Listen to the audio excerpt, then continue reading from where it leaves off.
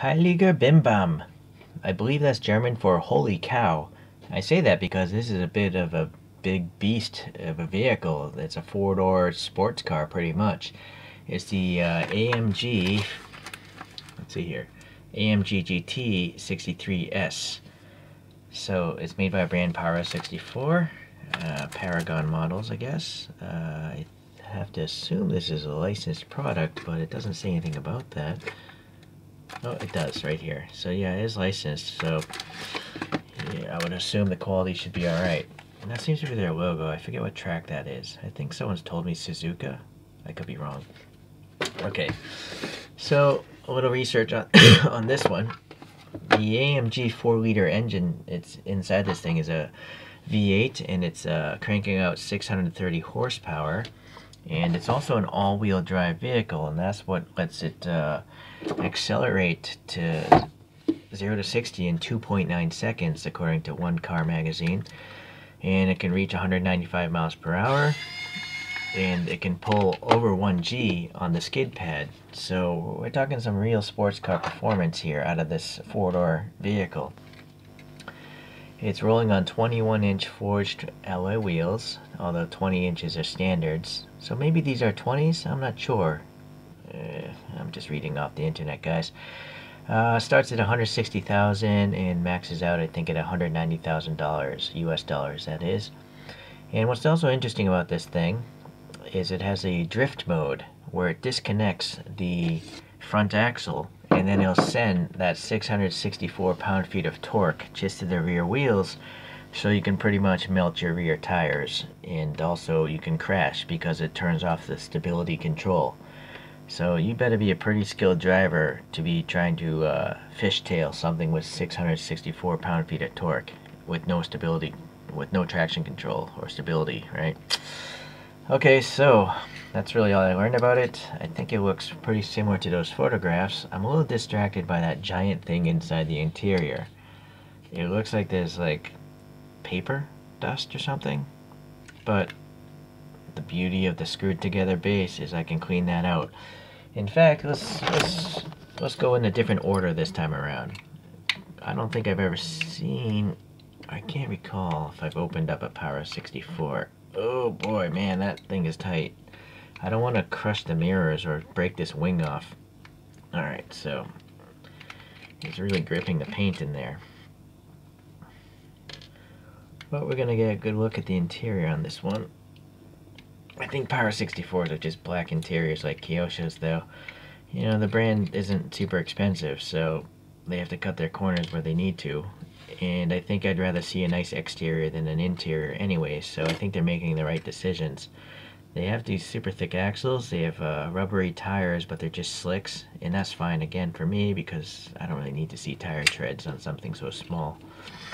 Unless it's like an off-road truck. Okay, so yeah, you got your molded details, standard fare it seems for a, a car like this. And then, uh, yeah, what the heck is that? Let me get a brush here. Oh, that's like, it wasn't paper, it actually had weight to it. It sounded like plastic resin. So weird. Um, I'm noticing there's nothing, there's no rivets for this glass. A lot of brands will have a rivet to hold the plastic, but here I guess it's just the interior that's holding it up. I guess it works. Okay, so now we know what the inside looks like. There's these little holes here, that's what the interior mates to. There's some pins here on that interior, so that's interesting. And same in the back. Okay, well, now we know the construction methods of this particular Para 64. I imagine it's probably similar in all their other models as well. Okay, let's see. So decent detail here in the base. I imagine that's probably based off, you know, the real car since it's licensed. I have to imagine, being a licensed product, that uh, Mercedes provides them with tons of photographs of the vehicle. If not, well, I don't know if they would give them the CAD file, because then you could literally duplicate the car, you know. Uh, but maybe they also just lend them a car and the Para 64 uses a 3D scanner or something like that. Okay, well anyways, it's nice to see the text here explaining what the car is. Uh, made in China, who makes it, what scale. Ideally, it would also say what year it is, but uh, oh well, what can we do? This is a current model, by the way. It's actually available from Mercedes right now, so it's a fairly recent vehicle by Mercedes. Okay, so let's start with the front here. You got the silver printing of the star, the giant star, and the little uh, badge star, and they look pretty good. Um, headlamps look alright. You can see some extra detail behind the clear lens, so it looks like, you know, a modern headlight assembly. See all that stuff.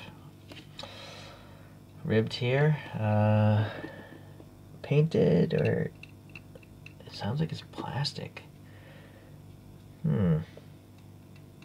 I'm not sure. Maybe it is a casting, but it, it kind of has that sound of plastic to me.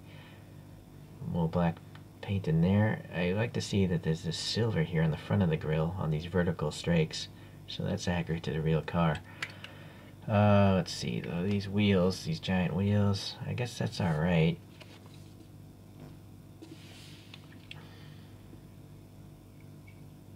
Hmm, I'm wondering yeah, there seems to be air passing between those wheels. You can see on the back one, the light there. So yeah, there's air passing. And I almost feel like there's a disc rotor back there as well. I think there's like a molded in disc rotor right here. But still a tiny gap, so it, it looks, I guess, pretty realistic. Okay, so this is a nice blue. Oh, and by the way, I forgot uh, Twice Diecast, his channel. You want to check my subscriptions. He he got this model long before me, and so it's always stuck in my mind. If I could get this at a good price, I would, and so I did. But uh, he he reviewed this a long time ago. He reviews a lot of other cool models, so check him out. Okay, uh, yeah, a little contaminant right there, so that's too bad. There's printing on the side. Let's see what it says. V8 Biturbo. Well, so it's a twin turbocharged. I guess that makes sense if it's making 630 horsepower. And then there's a little, oh yeah, reflector right there in the mirror. So that's a good thing you see here. This might be the least expensive brand that actually puts in a reflective sticker. I mean, that's really good of Para 64.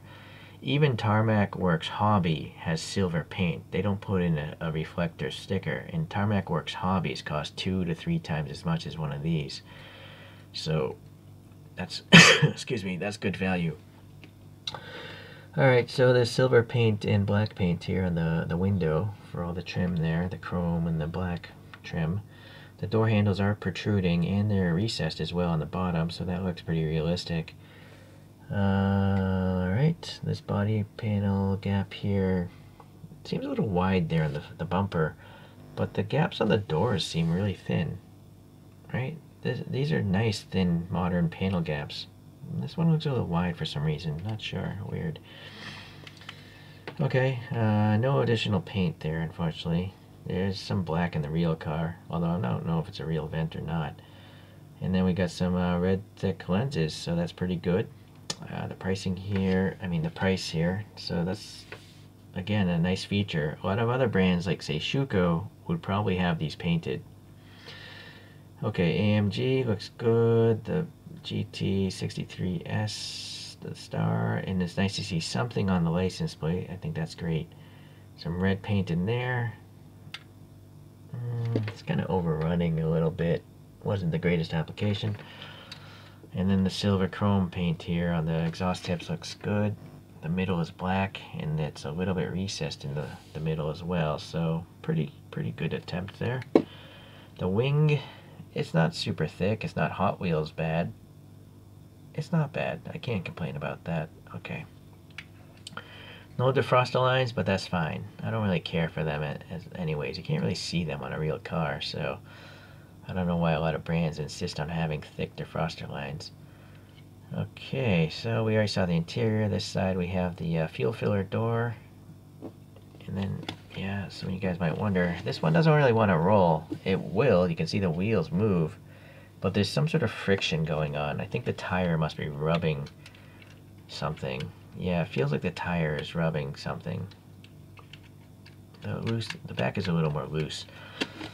Okay. Well, all in all, it's still a pretty good model. I mean, it's almost flawless. The only thing, there's a little contaminant right there in the door, but that's not gonna make me want to die or anything, so I'm good with that. And everything else, if I recall, is pretty much perfect, so that's good. Good quality control on this one. Uh, I failed to mention there's some wiper blades there raised and painted black. And then the sunroof is nice, even though it's an all black interior, it's nice to have a little extra light because now you can see like that center console through the side window pretty easily. I'm trying to see how distorted these gla this glass is. Yeah, it's pretty distorted. The pick is quite wavy on the other side, but again, for the uh, retail price of these things, it's it's a pretty great model actually. So I'm really starting to like Para 64. Yeah, thanks Toy Cast. I think you've introduced me to this brand and also Beyonce as well. So yeah, very good stuff. Okay, I guess we should try to take a look at another Mercedes. Uh, I have a Tarmac Works actually. It's the let's see, Mercedes AMG GTR safety car from the Chinese Grand Prix of 2019. And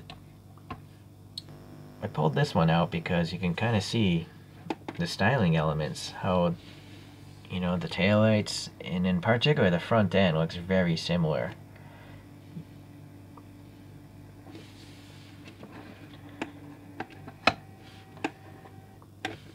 Yeah, let's go back here.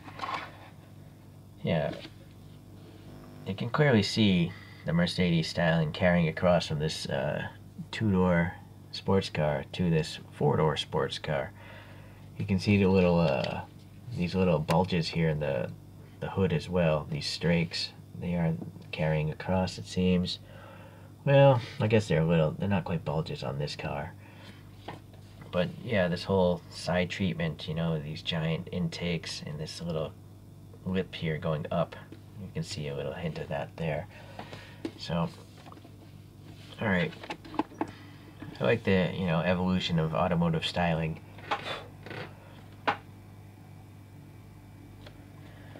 Okay, I guess that's uh, enough of a spin to, to compare to. I'll get this out of the way. Let this spin in front of its photograph. Oh boy, sorry my camera's so low. I'm always knocking it around but it, I need that low angle so you can see the car like a human being would see it.